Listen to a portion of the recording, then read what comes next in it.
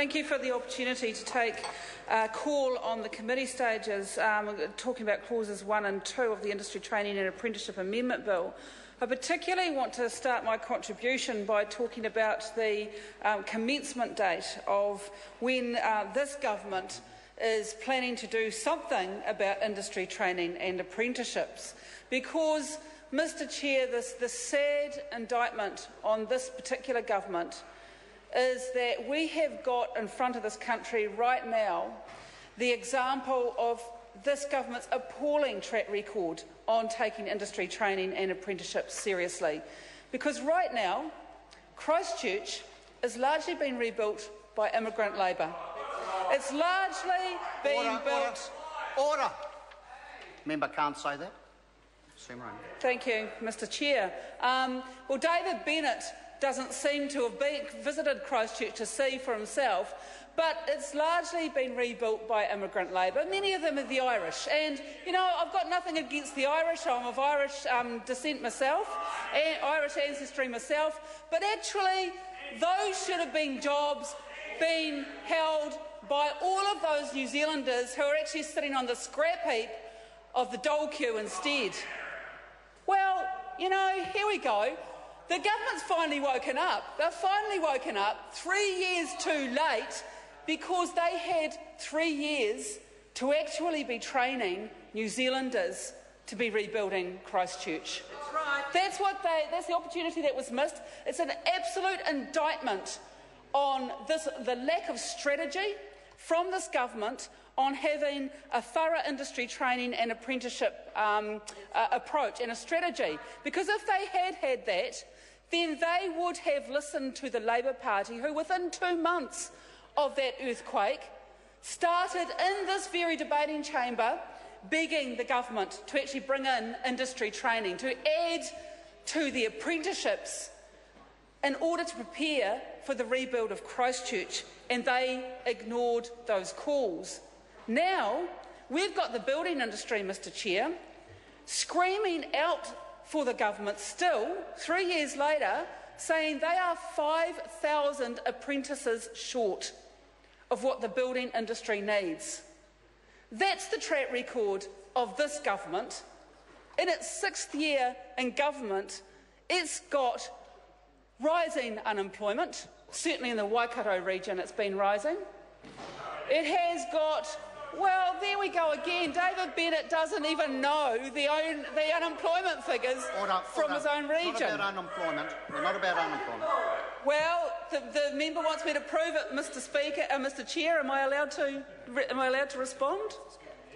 Because if he goes and looks at the last quarterly figures released for the Waikato region, they increased from 6.1% and increased to 6.8%. Order, order. This, this is not about unemployment. This is about um, industry training. Sue Moroney. Okay. Well, thank you, Mr. Mr. Speaker. I was just responding to um, no, to, well, to the member opposite, but I'll, I will now focus back on on the bill itself because what this bill does is, um, yes, it does do some useful things, and as some of my colleagues have said, it's a shame that we can't support the bill in its entirety because there are one or two things that it does that are useful. But sadly, as this government is wont to do, it has got privatisation at its core. And it's also got the narrowing down of what we're trying to achieve in terms of people's education. And isn't that a theme? From this government as well, because they've done that with compulsory education as well as industry training now. They've taken a very broad concept that gives people a broad set of skills that they can apply across industry or across um, different careers and, and, different things that they want to, might want to pursue in their lives. That's what the compulsory education system is supposed to help with. But both in the compulsory education system and now with industry training, the government has taken an approach of narrowing things down. And in this bill, they're doing it by not requiring the bodies who take care of this area to be industry wide. It can be um, just uh, uh, an employer. And what we start to get is the narrowing of skills that are actually going to be going to be imparted to people as a result. Because while an employer might have um, specific skill needs for their particular business, they won't be necessarily engaging in preparing those people for a skill base that's to be used right across their industry. And I can see that a couple of the members opposite um, are quite interested to learn that this is a bill that's going through in their name that does this. Uh, Mr Mark Chair? Mitchell. The question be now The put. question is that the question be now put. Those of that opinion will say aye. To the contrary, no. The ayes have it. Party votes called for. I'll ask the clerk for the party vote.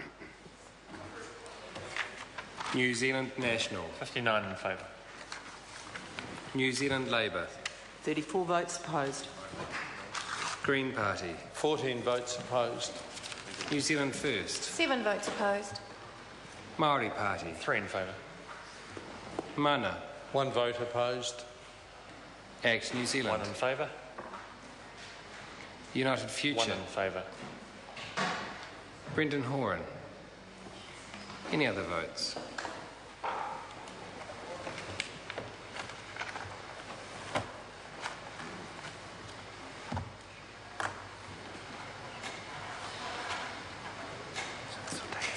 Yep. Members, the ayes are 64, the noes are 56. The question will be put. The question is at clause 1 stand part. Those of that opinion will say aye. To the contrary, no. The ayes have it. The party vote's called for. Ask the clerk for a party vote. New Zealand National, 59 in favour. New Zealand Labour, 34 opposed. Green Party, 14 votes opposed. New Zealand First, Seven votes opposed. Maori Party. 3 in favour. Mana, One vote opposed. Act New Zealand, 1 in favour. United Future, 1 in favour. Brendan Horan. Any other votes?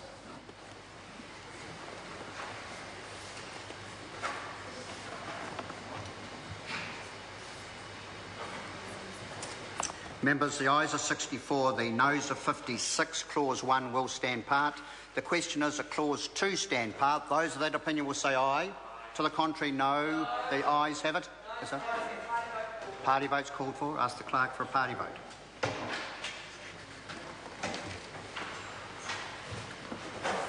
New Zealand National, 59 in favour. New Zealand Labour, 34 votes opposed. Green Party, 14 votes opposed. New Zealand First, Seven votes opposed. Maori Party, 3 in favour.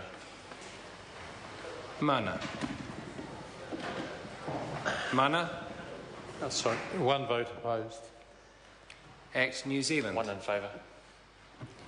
United Future. 1 in favour. Brendan Horan. Any other votes?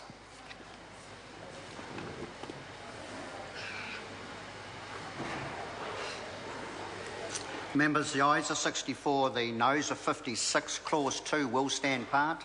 The question now is at clause 3 stand part. Those of that opinion will say aye. To the contrary, no. The ayes have it. So, party votes called for. Ask the clerk for a party vote. I'm hungry. New Zealand National, 59 in favour. New Zealand Labour, 34 votes opposed. Green Party, 14 votes opposed. New Zealand First, Seven votes opposed. Maori Party. 3 in favour. Mana, One vote opposed. Act New Zealand, 1 in favour. United Future, 1 in favour. Brendan Horan. Any other votes?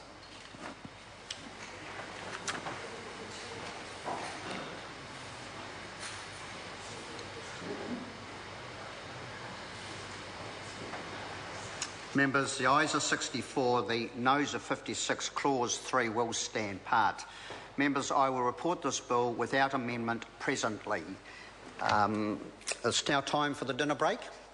Uh, I shall resume the chair at 7.30. Mr. Chair.